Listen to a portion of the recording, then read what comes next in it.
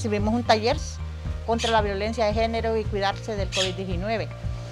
Y usar mascarilla o usar todas las medidas de bioseguridad y mantenerse siempre la distancia y todo el protocolo que hay.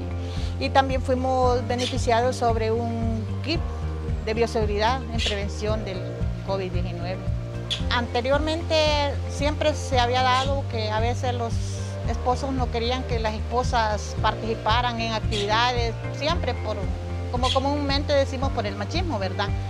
Pero con la capacitación que recibimos, hemos recibido información por medio de cartillas, de juegos, eh, boletines, eh, carteles, donde se habla mucho sobre la violencia de género, y entre algunas partes han sido pegadas en lugares, se ha capacitado el grupo para que podamos impartir esto con más personas o con más mujeres que puedan ser, que estén sufriendo lo que es violencia de género.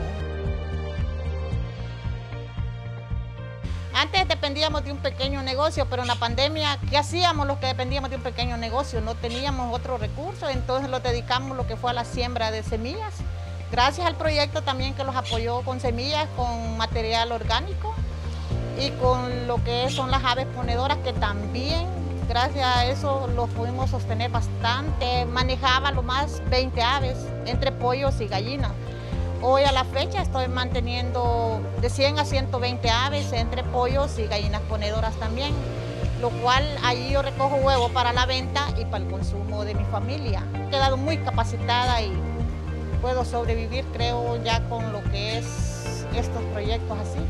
Ya tenemos una experiencia.